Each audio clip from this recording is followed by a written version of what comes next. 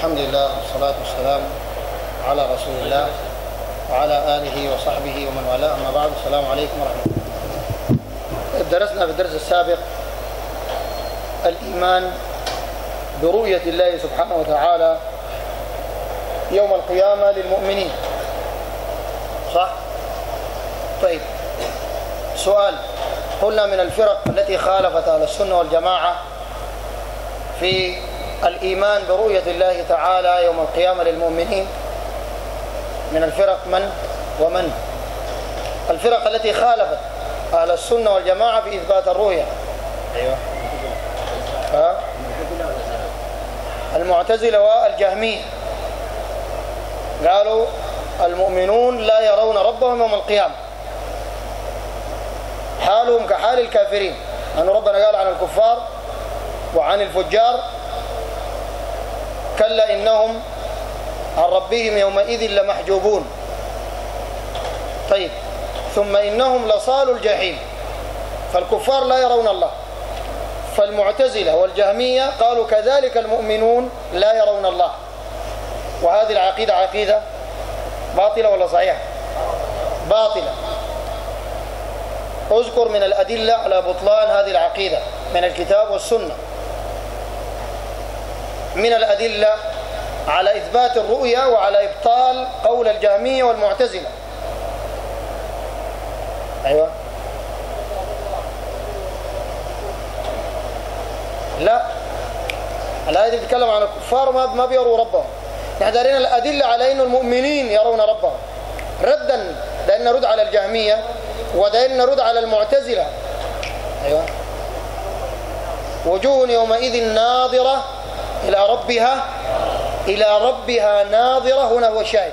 إلى ربها ناظرة. ثاني من الأدلة. أيوة منتبه. ها؟ ما سأل. للذين أحسنوا لا خطأ. قال للذين أحسنوا الحسنى وسكت. كده صح؟ الحسنى هي الجنة. طيب وين النظر إلى وجه إلى وجه الله الكريم؟ وزيادة. أنت ما أكملت الآية. قال النبي عليه الصلاة والسلام الزيادة هي النظر إلى وجه الله الكريم. ثاني من الأدلة. أيوة.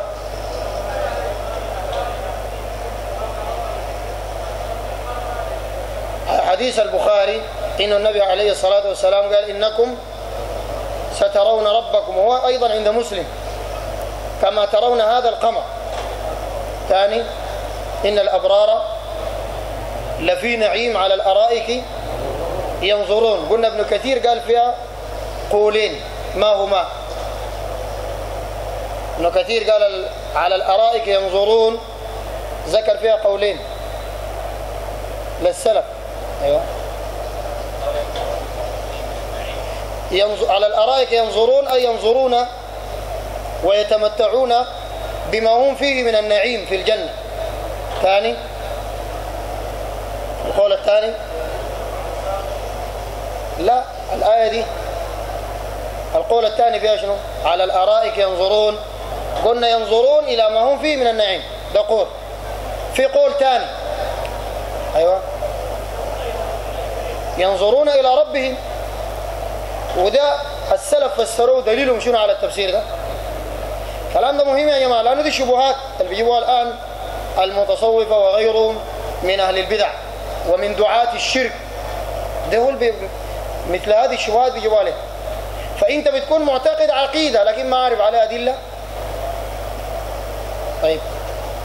الدين بعديها ربنا قال عن الكفار كلا انهم يومئذ نعم. هناك ربنا قال عن الفجار والكفار كلا إنهم عن ربهم يومئذ لمحجوبون. وهنا نتكلم عن الأبرار قال على الأرائك ينظرون. ينظرون لما حجب عنه الفجار. حجبوا عن شنو؟ عن النظر إلى الله عز وجل. فذل ينظرون إلى الله عز وجل. السلف قالوا كده. قالوا لأن الآية دي على الأرائك إن الأبرار لفي نعيم. على الأرائك ينظرون. قالوا جاءت على وجه المقابلة. ذيك محجوبين عن ربنا وذيل بينظروا لربهم طيب. ما هو قول الأشاعرة؟ ذكرنا قول الجهمية وقول المعتزلة. قول الأشاعرة كان شنو في مسألة إثبات الرؤية أيوة حسن. أيوة. الأشاعرة الشيخ ربيع قال ناس يعني قال بمفهوم الليلة زي ناس سياسيين يعني. فقالوا المؤمنين بيروا ربنا لكن ما بالبصر وإنما بشنو؟ بالبصيرة. ودي فلسفة كلام فارغ لأنه النبي عليه الصلاة والسلام قال حينما رأى القمر وكان ساطعا قال للصحابة إنكم سترون ربكم كما ترون هذا القمر. يبقى رؤية بصر ولا بصر؟ رؤية بصر. عشان كده الإمام البربهاري قال ماذا قال؟ قال. والإيمان بالرؤية يوم القيامة يرون الله عز وجل بأعين رؤوسهم. عشان يرد على الأشاعرة. إنه ما بالبصيرة إنما بالأعين هذه ولكن بكيفية يهيئها الله عز وجل لها بأن ترى ربها تبارك وتعالى. قال بأعين رؤوسهم طيب وفيه أيضا رد على المعتزلة والجهمية الذين أنكروا رؤية الله سبحانه وتعالى. طيب النبي صلى الله عليه وسلم قال إنكم سترون ربكم كما ترون هذا القمر. هل هذا تشبيه؟ أم ماذا؟ وتشبيه لماذا؟ وهل هو تشبيه أم غير تشبيه؟ وإذا كان تشبيها فتشبيه لماذا؟ أيوة دكتور. هو تشبيه ولكن ليس تشبيه المرء بالمرء ولكنه تشبيه تشبيه الرؤيا بالرؤيا كما ذكر الإمام الصابوني وغيره من السلف وكما ذكر الشيخ العثيمين والشيخ ربيع وغيره من العلماء طيب من شبهات أهل الضلال في نفي رؤية الله عز وجل. قالوا قول الله عز وجل لموسى لن تراني. فما هو الفهم الصحيح لهذه الآية؟ وما هو الرد على هذه الشبهة مفصلا كما بيناه؟ ما هو؟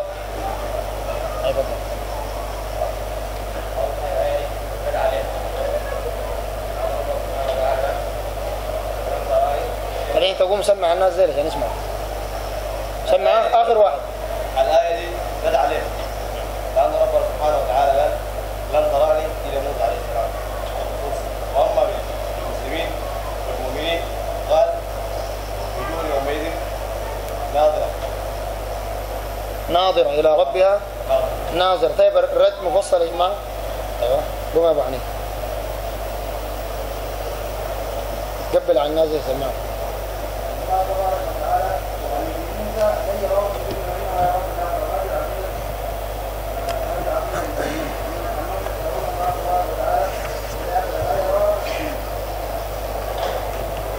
أنا ما سمعت الآية قال شنو؟ نعم أول حاجة قلنا لموسى لن تراني. أول حاجة ربنا ما ما نفى الرؤيا مطلقا يعني ما قال إني لا أرى. لو قال قال إني. أو قال أنا لا أرى ده نفي ممكن يكون. لكن قال لموسى لن تراني. يعني في هذه الحالة يعني في الدنيا. لأنه ربنا ما نفى الرؤيا مطلقا. قال لن تراني. هذا الرد الأول. الرد الثاني أيوة. نعم هم قالوا لن للتأبيد.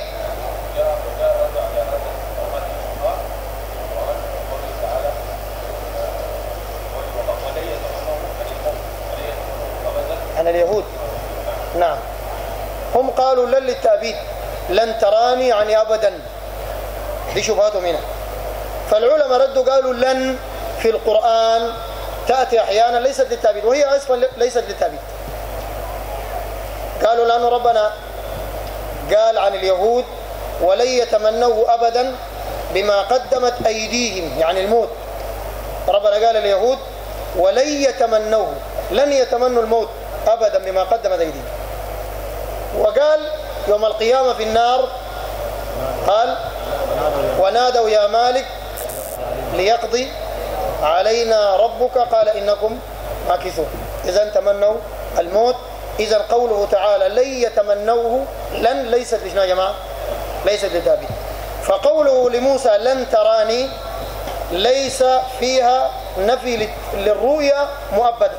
لأن لن ليست للتابع الدليل هذه الآية وتلك الآية. طيب.